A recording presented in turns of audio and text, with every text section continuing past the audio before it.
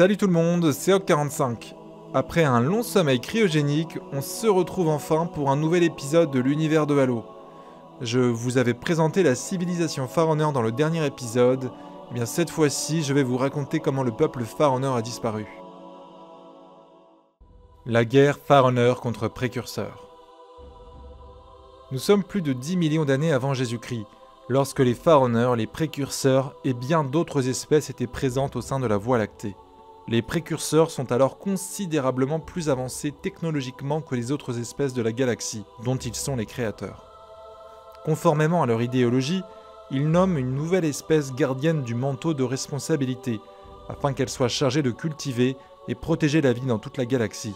Alors même que les Faroneurs sont, après les précurseurs, l'espèce la plus avancée technologiquement et qu'ils sont les actuels gardiens du manteau de responsabilité, les précurseurs créent les humains et les choisissent pour remplacer les Faroneurs en tant que nouveaux gardiens du manteau, car ils estiment que les Faroneurs sont devenus bien trop arrogants pour endosser ce rôle.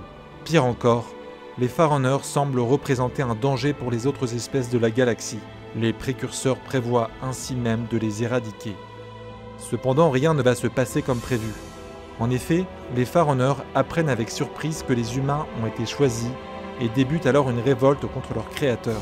Ne pouvant se résoudre à obéir aux humains, ce qu'ils auraient à faire si ces derniers devenaient gardiens du manteau, les Faroneurs déclarent la guerre aux précurseurs.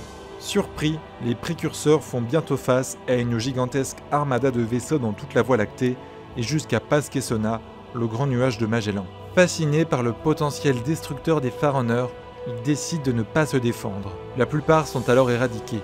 Seuls certains précurseurs réagissent, et ce dans le but de sauvegarder leur espèce. C'est le cas d'une poignée de précurseurs qui prennent la décision de réduire leur corps en poudre, poudre qui est chargée à bord de vaisseaux automatiques programmés pour revenir dans la Voie lactée à une date ultérieure.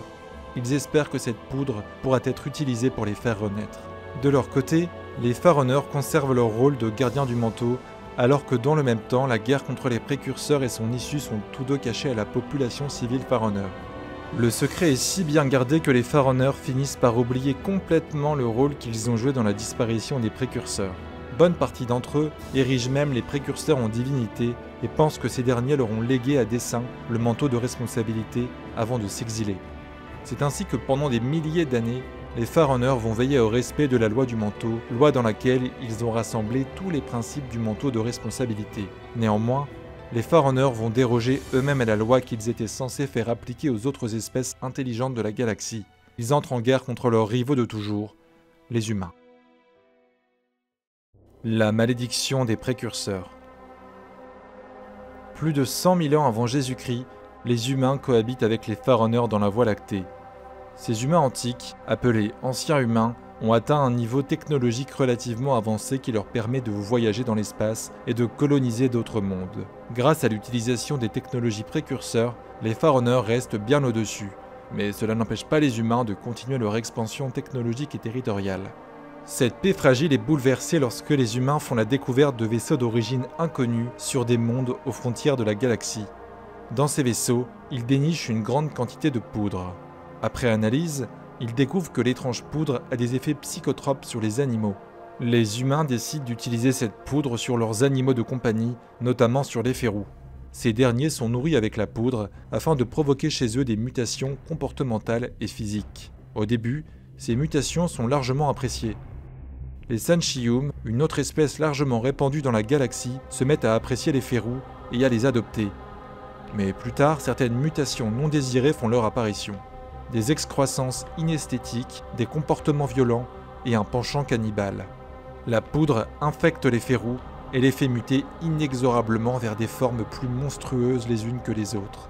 Les férous infectés répandent des spores et infectent leurs congénères encore préservés.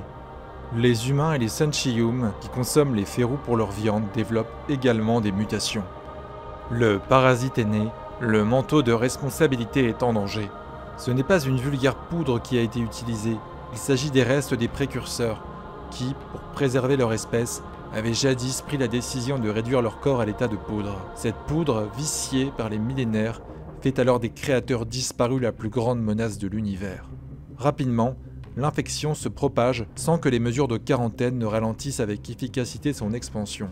D'une douzaine de mondes infectés au départ, l'infection en atteint rapidement plusieurs centaines. L'élimination des férous infectés et la destruction des vaisseaux précurseurs, d'où la poudre avait été prélevée, ne permettent pas de stopper la prolifération du fléau.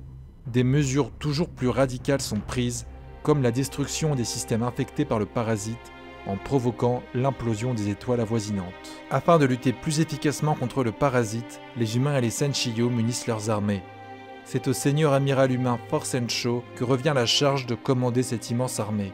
Face à la pénurie de monde pour abriter les humains et les Senshiyum qui ont fui le parasite, la décision est prise d'envahir et d'attaquer plusieurs colonies Faroners afin d'y établir les rescapés. Les Faroners ne peuvent laisser cet affront impuni.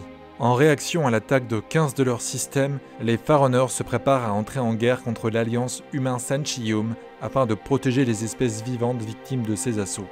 Pour l'Alliance, c'est un second front auquel il va falloir faire face. La guerre humain contre Faroners est sur le point de démarrer. La guerre humain contre Faroners.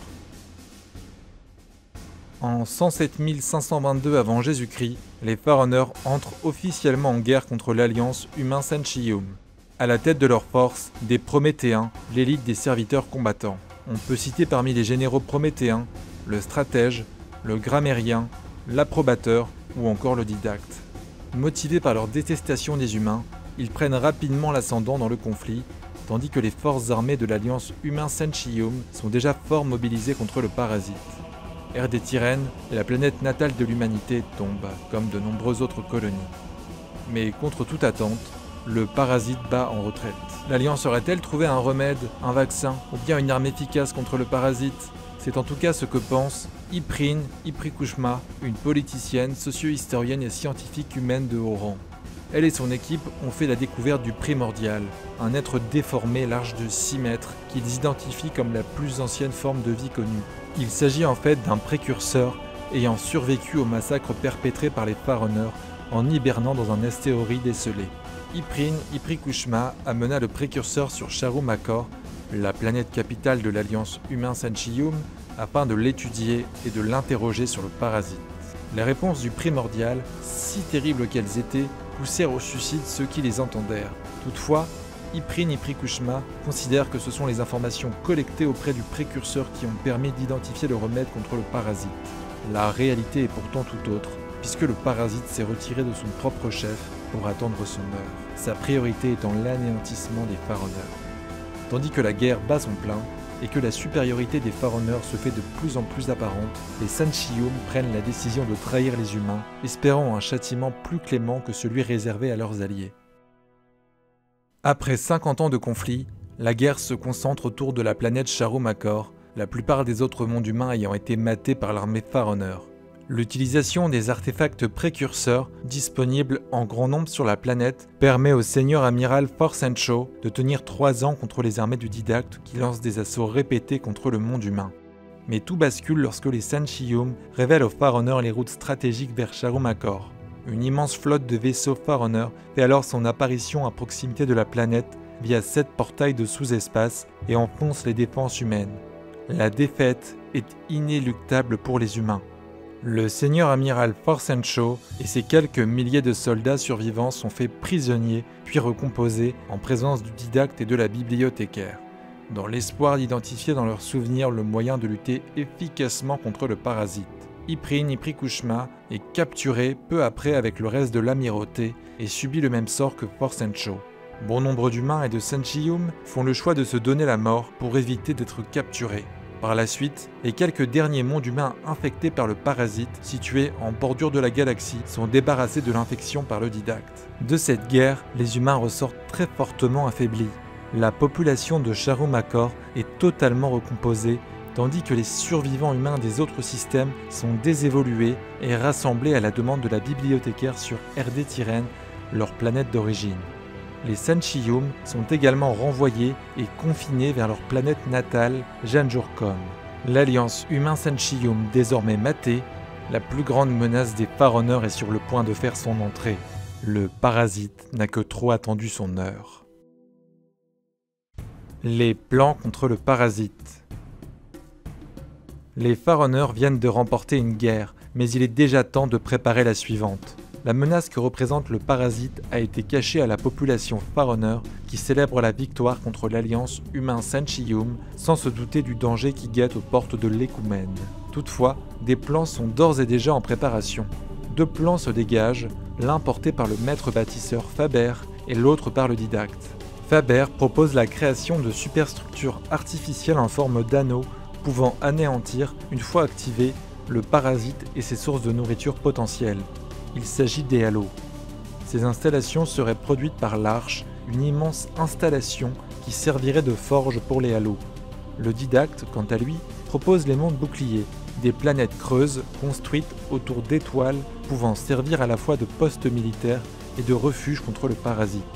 Il est par ailleurs farouchement opposé au plan de Faber, qui constitue selon lui une violation du manteau de responsabilité. Ils mettent toutefois leurs efforts en commun pour créer Mendekan Bias, une intelligence artificielle de classe Contender visant à organiser les défenses contre le parasite. D'abord tous deux adoptés par le Conseil Farunner, c'est finalement le projet des Halos qui est retenu et seuls quelques mondes boucliers voient le jour. L'opposition intransigeante du didacte envers le plan de Faber le contraint à l'exil et conduit à son enfermement, tel un prisonnier, dans un cryptome. De son côté, la bibliothécaire met en œuvre son plan de préservation, dont l'objectif est la préservation de l'ensemble des espèces vivantes de la galaxie en cas d'activation des halos. Pour vaincre le parasite, les halos doivent en effet le priver de toute biomasse lui permettant de se reproduire. Le plan de la bibliothécaire vise à permettre la réintroduction de la vie consciente après que les halos eurent été activés via un processus de réensemencement consistant à réintroduire les espèces sur leur monde d'origine à l'aide de vaisseaux clés. La bibliothécaire fait également déplacer le cryptome du didacte sur la planète RD Tyrène et donne à ses habitants humains le pouvoir de libérer le didacte en modifiant leur ADN à l'aide de la méthode du généchant. Elle voyage ensuite vers la galaxie de Pasquesona où elle découvre la vérité sur la guerre par honneur contre Précurseur et sur l'origine du parasite. Le projet de Faber est lui en bonne voie. La grande arche est construite, de même que 12 premiers halos, tandis que secrètement, une petite arche voit également le jour pour pallier une destruction éventuelle de sa sœur au cours des affrontements contre le parasite.